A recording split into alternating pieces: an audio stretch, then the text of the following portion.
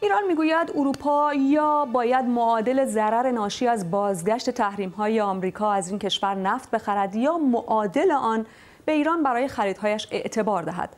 ظاهرا این موضوع گفتگوهای ایران و فرانسه در هفته های گذشته بوده و ایران ضرب العجلی تعیین کرده که موعدش دو روز دیگر است. حالا حسن روحانی می‌گوید گفتگوها تا امروز به نتیجه نرسیده و بعید هم هست که در یکی دو روز آینده به جایی برسد. به همین خاطر ایران گام سوم کاهش تعهدات برجامیش را آغاز می کند وزیر امور خارجه فرانسه هم گفته که آمریکا باید برای دادن اعتبار به ایران موافقت کند و شرط اعطای این خط اعتباری به گفته او مذاکره پیرامون مسائل دیگری از جمله برنامه موشکی و سیاست منطقه‌ای ایران است.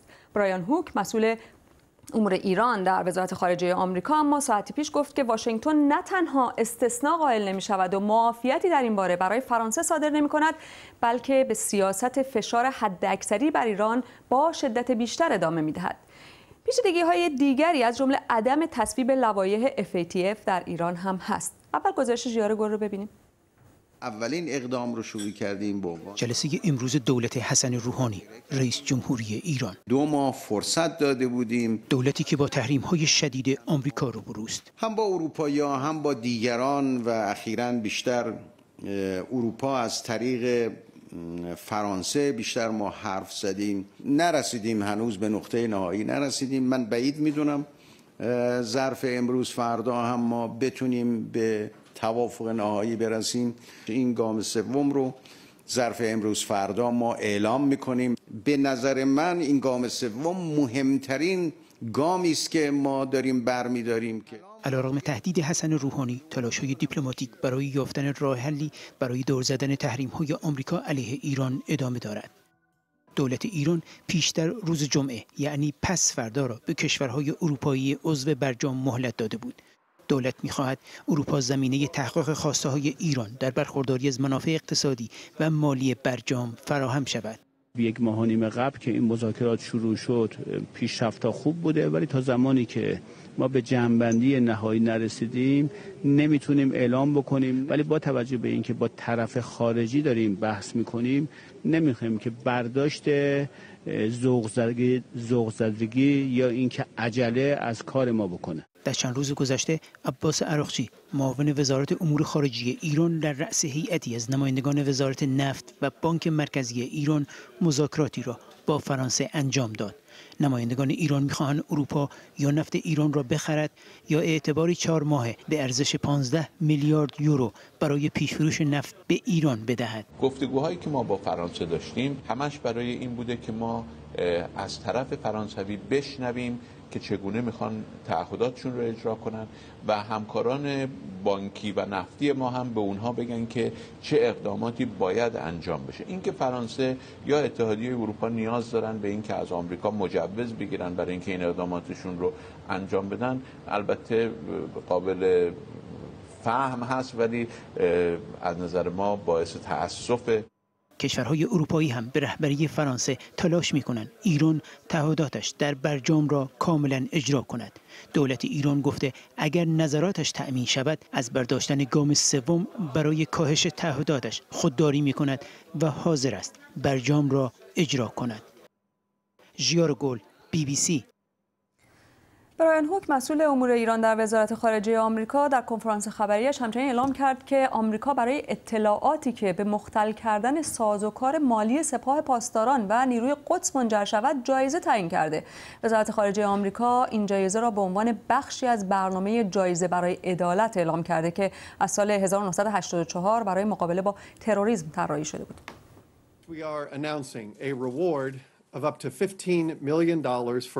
اینجا اعلام می کنیم که به هر کسی که به ما در مختل کردن عملیات مالی سپاه پاسداران ایران و نیروی قدس سپاه کمک کند تا 15 میلیون دلار جایزه می دهیم.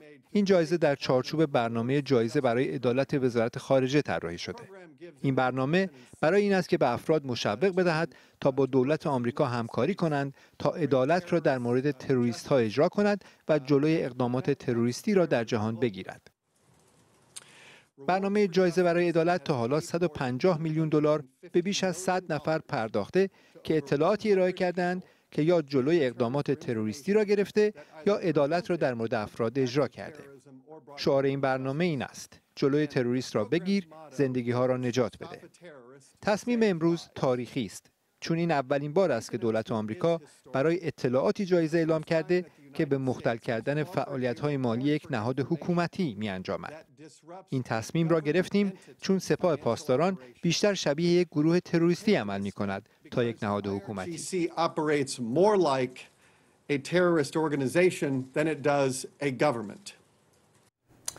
برای بحث درباره موضوعاتی که شنیدید دو مهمان داریم. علی واعظ مدیر پروژه ایران در گروه بین المللی بحران از واشنگتن و محمد جواد شلسدی کارشناس حقوق تجارت بین الملل از پاریس. خوش آمد میگم به هر دو آقای واعظ ما ظرف هفته های گذشته خیلی در مورد اون چه که پشت پرده بین ایرانی ها و فرانسوی ها میگذشته برای حفظ برجام نشنیدیم. آیا از حرف های یکی دو روز اخیر می‌تونیم بفهمیم که چه اتفاقاتی افتاده و مسئله سر چی ها بوده؟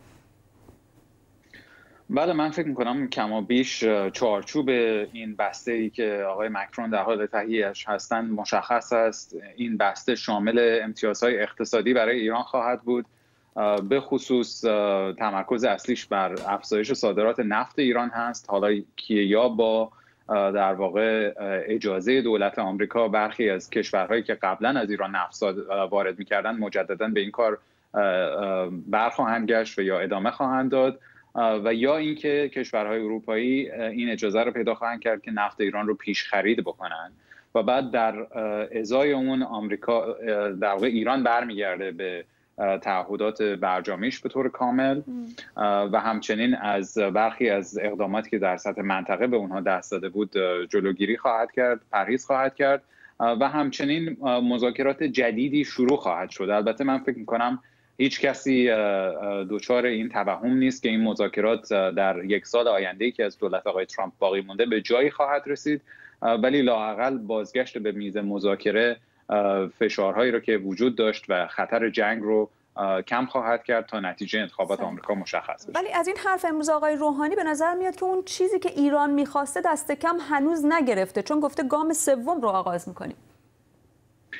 البته صحبت آقای روحانی مبنی بر این بود که این بسته شاید تا فردا یا پس فردا نهایی نشه و به همین علت ایران گام سوم رو برمیداره. ولی ببینید چالش اصلی که اینجا وجود داره این هست که سطح توقعات دو طرف خیلی با هم متفاوت هست. از این لحاظ که ایران انتظار داره که بتونه یک امتیاز اقتصادی عمده در همون حدود 15 میلیارد دلاری که صحبتش هست رو به دست بیاره. بله. در عرض سه چهار ماه آینده و از اون طرف دادن یک چنین امتیازی به ایران برای آقای ترامپ در ازای اینکه ایران فقط به برجام بازگرده یا دست به اقداماتی که جدیدن زده در خلیج فارس و دیگه نزنه این کافی نیست برای اینکه آقای ترامپ بتونه این رو در محیط سیاست داخلی آمریکا بفروشه. از اون طرف آقای ترامپ مهمترین کارتی که رو در نظر داره ملاقات با آقای روحانی هست که فروختن اون برای آقای روحانی در تهران بسیار دشوار هست. بنابراین این چالشی است که الان دو طرف دارن برای اینکه و فرانسوی ها دارن برای اینکه بتونن پلی بزنن بین دو طرف و نهایتا یک بسته ای که سطح تنش ها رو کاهش بده و زمان بیشتری بخره رو به دست بیاره. صحیح. آقای سعدی قبلا در مورد اینستکس میشنیدیم که اوج اون در واقع اعتبار مالی که درش مطرح بود میلیونی بود. الان خرید 15 میلیاردی مطرح است. اعتبار 15 میلیاردی مطرح است. آیا خیلی خوشبینی نیست اگه فکر کنیم که چنین اتفاقی ممکن هست بیفته با توجه شرایطی که الان حاکم هست بر وضعیت ایران برجام و روابط ایران و آمریکا؟ خب عملا می‌بینید حتی توی ایران این خوشبینی وجود نداره و در واقع ایران حق داره که بدبین باشه نسبت به این پیشنهاداتی که فعلا آقای مکرون ابتکارش رو به دست گرفته. به دو دلیل عمده. یک دلیل این هست که اروپا عملا قدرت چندانی نداره در مقابل آمریکا برای که بخواد رایزنی و چاینازنی بکنه. از طرف هم اروپا خودش مشکلات بسیار زیادی داره. در روابطش با امریکا و بالاخص آقای ترامپ و سیاست هایی که آقای ترامپ الان داره اعمال می‌کنه نسبت به اروپا در نتیجه چونه زدن بر سر ایران در واقع می‌تونه یک برگ برنده ای باشه بیشتر برای اروپا در معادلات خودش با امریکا. از طرف دیگه سیاست آقای ترامپ نشون داده که اصلا مایل نیست که ابتکار عمل رو مخصوصا در بود بین المللی به دست اروپا بسپاره و بلخص به دست آقای مکرون و فرانسه و من فکر نمی کنم که نهایتا آی ترامپ راضی بشه که این ابتکار رو بده به فرانسه و اینکه فرانسه بخواد این مذاکرات رو عملا در دست بگیره و میانجی اصلی بشه بین این مذاکرات. آقای ترامپ دنبال این هست که بخواد مذاکرات مستقیم رو با خود ایران داشته باشه و دادن همچین امتیازی به ایران شاید به صورت تاکتیکی و در واقع مقطعی در نه خیلی کوتاه مدت ولی ظرف هفته های آینده انجام بتونه بشه و یک رفتار تاکتیکی خواهد بود از طرف دولت امریکا برای اینکه بتونه در واقع امتحان کنه ببینه باب مذاکره رو می‌تونه باز بکنه یا نه و همه اینها منوط خواهد بود به در واقع مسائلی که بعد از این پیش خواهد اومد مذاکرات احتمالی یا اینکه در واقع سیاست هایی رو که اینها انتظار دارن از ایران که انجام بده. قبل از اینکه اصلا این پول ها بخواد در واقع برای ایران آزاد بشه و ایران بخواد ازش استفاده بکنه. این تهدیدی که آقای روحانی کرده گفته گام بعدی در واقع خروج از برجام یا کاهش تعهدات اونچه که اسمش رو می‌گذارند رو آغاز خواهد کرد. یا تهدید کارساز خواهد بود آقای شلسدی یه مقدار من فکر می‌کنم تهدید محتاطانه ای هست که ایران و آقای روحانی انجام میده. از این بابت که در واقع بیشتر اعلام می‌کنن ما گام بعدی رو اعلام می‌کنیم و حالا انجام اون گام زمان بر خواهد بود و هفته ها و ماه ها شاید طول بکشه و در واقع اعلام این هستش که یه مقدار می‌تونه تحت فشار قرار بده اروپا رو برای اینکه در چانه زنیش با آمریکا در واقع اصرار بیشتری بکنه. و من فکر نمی کنم که حالا ایران در کوتاه مدت حرکت در واقع قاطعی بخواد انجام بده که اینکه برجام رو بخواد نقض بکنه به صورت مشخص. آقای وایس چقدر واقعا در اروپایی ها این خواسته و علاقه مندی رو می‌بینیم که بخوان برجام رو حفظ بکنن؟ خیلی ساکت هستند. اغلب دولت های اروپایی. ببینید برای اینکه اروپایی ها خودشون درگیر مسائل بسیار متعدد داخلی هستند. اگر شما نگاه کنید مشکلاتی که دولت ها در انگلیس در ایتالیا دارن و مسائل دیگه ای که از لحاظ اقتصادی از لحاظ اجتماعی از لحاظ مهاجرت بسیاری از کشورهای اروپایی درگیرش هستن. ایران رو جزء اولویت های اصلی قرار نمیده. ولی همچنان به هر حال اروپا از لحاظ سیاسی به حفظ برجام پایبند مونده و این علیرغم فشار بسیار سنگینی است که آمریکا بر اروپایی ها وارد کرده. اجازه بدید من اینو بگم که من با شده سعدی موافق هستم در اینکه این رسیدن به این توافق تاکتیکی که فعلا با میانجیگری فرانسه داره پیش میره بسیار دشوار هست. ولی در این حال باید در نظر گرفت که یک درجه ای از اراده سیاسی هم در دو طرف وجود داشته که به هر حال مهم هست در ممکنه نشانه هاش رو بگید؟ آیا اون چه که در جی هفت شنیدیم مثلا از آقای ترامپ در اون کنفرانس خبری به شما این در واقع اعتماد به این وضع رو در واقع میده که دارن به یه جایی می‌رسن؟ یا اینکه چیزای دیگه ای دیدید؟ نشانه هاش چی هست؟ ببینید من فکر کنم واضح ترین نشانهش این هست که با وجود اینکه آقای ترامپ علاقه ای نداره که کس دیگه ای بتونه ادعای امتیاز گرفتن از ایران رو بکنه و دلش می‌خواد خودش مستقیما با ایران مذاکره بکنه تا به حال در دو سطح و در دو سطح رهبر کشور یعنی نخست وزیر ژاپن و رئیس جمهور فرانسه پذیرفته که اینها به عنوان میانجی وارد بشن و به اینها این فضا و این اختیار رو داده که بتونن از طرف آقای ترامپ پیام هایی رو به ایران ببرن. و این خودش نشونه این هست که آقای ترامپ متوجه هست که ادامه این روند تقابلی با ایران به احتمال زیاد ممکن هست منجر به یک درگیری نظامی بشه که ممکنه در سال انتخابات ریاست جمهوری برایشون درد سرساز باشه از لحاظ سیاست داخلی آمریکا.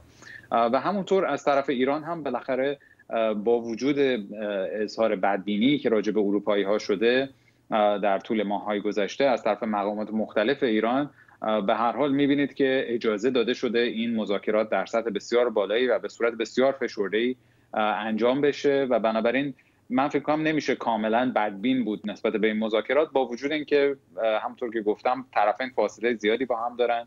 ولی واقعا این کاری که آقای مکرون داره می‌کنه ابتکار ایشون به گمان من بهترین و آخرین شانس و بخت برای حفظ برجام و آقای شده سعدی ایران دائما به دنبال راههایی هست برای فروش نفتش. همین امروز باز آمریکا